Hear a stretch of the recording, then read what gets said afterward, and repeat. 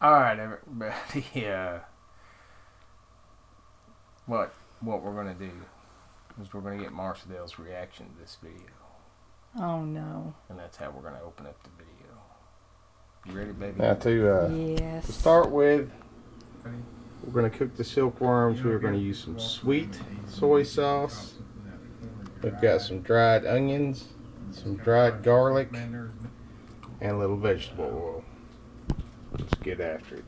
You ate that too. Very hard to do this one Hang handed. Those are nasty All right. as.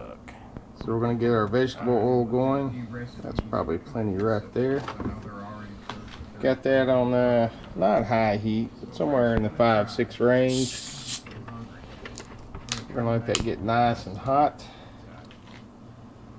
and then we are uh, we're gonna throw these bad boys in there. Now, when you open the package, uh, make sure you open it over the sink because there's a lot of juice in there that you need to drain out if you so desire. Let's let this oil get hot. Looks like our oil is nice and hot, so let's get the let's get a few of these here silkworms going.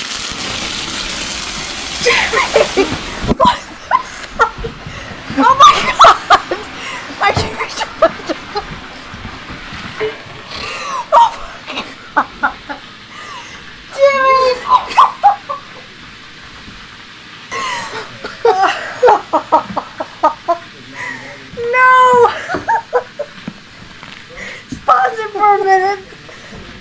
Oh, hey babe.